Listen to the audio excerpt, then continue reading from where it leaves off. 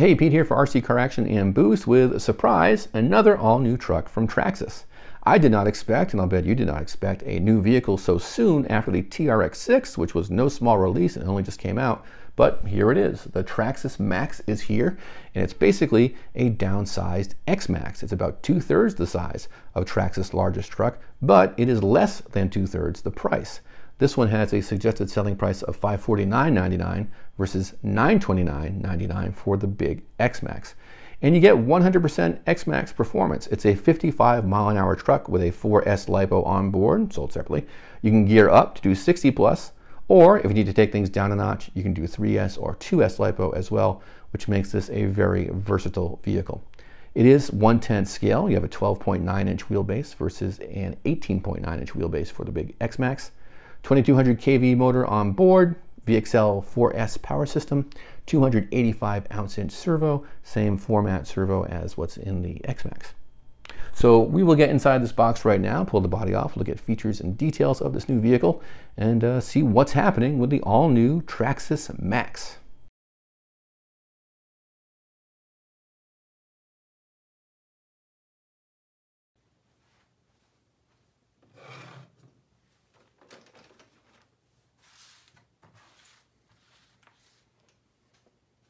Let's start with a look at how big the truck is. Here I have the Maxx morphing with a Rustler 4x4 to give you a sense of its size in three dimensions. It is 10 scale, which for me is the Goldilocks size for a monster truck. It's still plenty big, but gives you a lot more versatility in terms of places where you can run it, whereas the X-Maxx, being huge, not quite as uh, easy to find a space to really run it to its full potential. Okay, here we are with the Maxx. I have got the bright orange one. There are also two black versions with blue or red graphics. If you want a more subdued look, I'll go ahead and show you those.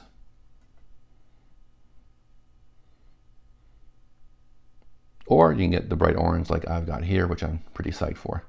You'll also notice no body clips on the truck, like the latest e-Revo, the Rustler 4x4, and the X-Maxx. There are no clips. You've got a quick release back here that will just let the body come off just like that, which of course is a much nicer way of doing it. And like those other trucks, you've got a reinforcing structure inside here. This big hook goes under the front shock tower. This is your latch back here. And the cab is supported with this internal structure. And that structure actually goes right out the back window as well to form these roll cage tubes, which are structural parts of the body. So this will definitely hold up well, especially with these uh, reinforcing grind rail type things on top. Uh, you roll the truck over at speed on pavement. You're not going to wear a hole through the body. These will take the brunt of that abuse. And also when you're using a self-righting feature, uh, the truck will rock on these hard plastic rails instead of wearing a hole through the roof. So the body off, you can see we've got this X-Maxx style kind of one-piece look to the chassis. And the idea with this is that it spreads impact loads across a large area when everything kind of ties in together like this. That's a big part of what makes the X-Maxx as tough as it is, and that should lend a lot of toughness to this truck as well. In terms of what's on board, you've got the Velineon VXL 4S speed control. You can see it's got a great big fan on there. There are machined heat sinks underneath, and you have big 10 gauge wires, so you have plenty of power handling capability there. The motor is a long can style. You can see the can peeking out from under the heatsink there. You've got a very aggressive machined aluminum heatsink and a big fan on top of the motor. It's a four pole 2200 kV with a five millimeter output shaft, so rugged stuff for the Maxx. And of course you have a waterproof receiver box. Uh, this has got the TSM equipped receiver so you have uh, Traxxas stability management to help uh, put down that 4S power. And the servo is the same style as what's in the X-Maxx, not the same model servo, but it's the same configuration. That's a, a 285 ounce in servo, and with that extra big case, you've got plenty of room for larger gears and a big old motor in there to deliver all that torque and plenty of uh, durability because that servo is going to definitely be taking some loads moving those big tires around at speed. And the linkages are held double shear. Uh, the links are captured on each side. That way they're not going to pop off in a crash or an impact.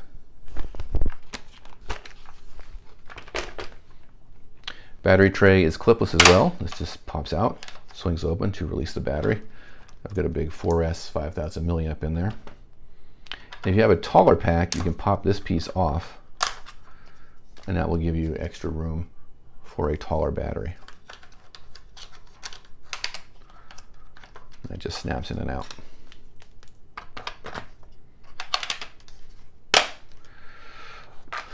So that's really convenient and that uh, battery is definitely not going to go anywhere. Let me pull a wheel off and I'm going to do that with an 8 millimeter driver because this truck has 8 millimeter axle nuts, not the traditional 7 millimeter. And Traxxas does give you a wrench for that. Instead of the traditional box wrench, you've got this guy. That way, if you don't have an 8 millimeter nut driver, you'll be able to get the wheels off.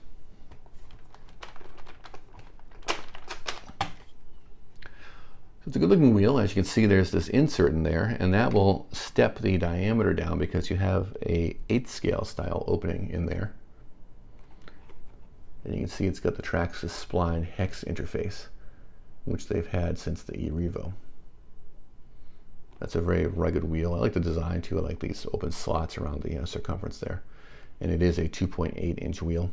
Tires are new. They've got these multi-step lugs with plenty of siping and detailing in there. Should offer plenty of grip. And the carcass has a, a, relatively flat profile across the top, so that should make it a good street tire as well.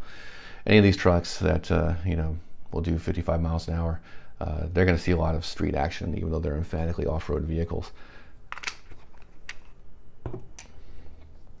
With the wheel off, we can get a look at the GT Maxx shocks. These are threaded aluminum, not as big in diameter as the X-Maxx. Uh, they are larger than Traxxas's GTR shocks, and you've got a really fat shock shaft there. Dual X-rings inside, and the spring perch, you can see that the spring perch is held on with a screw. That way they're not going to go jumping off there when you're out hammering the truck. And you can also see the wheelie bar on there. It's got the same wheelie bar wheels as the X-Maxx, and that's a fixed position bar that's not adjustable. I'll take off a front wheel so you can look at the front suspension. So the hinge pins are all captured, of course. You've got plenty of beef on the steering arm and the C-hub. You have a one-piece upper arm, and your steering linkages are also fixed length in one piece. The truck is designed to be as simple as possible as far as uh, maintenance and adjustments go.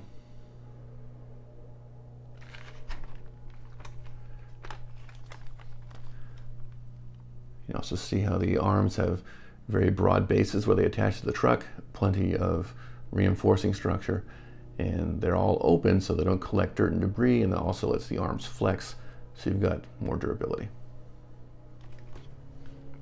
So it is full-time four-wheel drive. You have an aluminum shaft down the center here, which is fully enclosed. You're not going to get dirt and debris in there. You have uh, a torque biasing center drive, which absorbs shock and distributes power just like it does in the X-Maxx. Not the exact same parts, but it is the same technology. Differentials are sealed and filled with silicone oil, and you've got a large module ring and pinion, so you're not going to be stripping gears out. And you also have a heavy-duty cush drive for the spur gear, like in the X-Maxx. And what that does uh, is it's, it's, not a slipper, it doesn't slip, but it does take the edge off of that big torque dump when you nail the throttle in high traction conditions, and that's going to spare your spur gear from a lot of abuse. And as far as the mesh between the motor uh, pinion and the spur gear, uh, those are fixed settings, so you don't have to worry about setting gear mesh or having that wander off uh, in a big crash, having a, your gear mesh get knocked out and you wind up stripping a gear. That's not going to happen with the Maxx. So that's a quick tour of the Traxxas Maxx. We're going to get out and run this, of course. I have not run this specific truck that I'm looking at right now, but I have run a Maxx, and uh, it is a really exciting vehicle. Uh, there are plenty of other trucks that can go fast, but this one is really easy to drive, especially with the uh, TSM on the transmitter, uh, which you don't really notice working. I, I, forgot that it had it. I just thought the truck was super easy to drive, and I realized, oh yeah, it's got TSM uh, which you can turn down and it will make the truck more loose and require more attention to drive. But uh, I like it out of the box with the TSM turned up to about 50%. It just makes you feel like you're uh, really crushing it. And the truck is a blast to drive. It'll ride on that wheelie bar on 4S all day. Um, it's amazing how much power it puts down. Uh, but it's still very drivable and controllable. It's a lot of fun. It's not just you know a great big tire ballooning wango tango mess. You can really drive it. Uh, you'll want to drive it on 4S. It's not just for speed runs. Uh, the truck is a lot of fun. But we'll get this specific one out and show you what it can do as well. But for now, that's a quick tour on the Maxx, uh, latest truck from Traxxas. 549.99 suggested selling price, probably a little more, or probably a little less, I should say, once it's in stores. Uh, and you should be able to see these in stores now. They won't have them for sale, but they'll have uh, display models you can check out at your local Traxxas dealer. So I hope you will. It's a cool truck, and I'm really glad we got to look at one up close today. So thanks for watching.